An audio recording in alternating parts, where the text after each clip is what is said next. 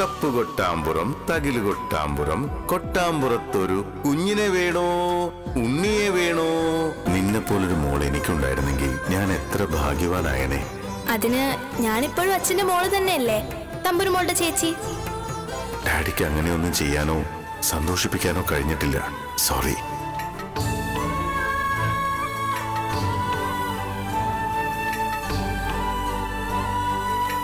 തീർച്ചയായിട്ടും രുക്മിണിയമ്മ പറഞ്ഞ മാവേലിക്കരയും ജയന്തൻ പറഞ്ഞ മാവേലിക്കരയും ആ കാറിന്റെ ഓണർ മഹേശ്വരമ്മയും തമ്മിലുള്ള ബന്ധം എന്താന്ന് ജയന്തൻ അറിയാൻ പറ്റുമെന്നുള്ളത് ഉറപ്പാ.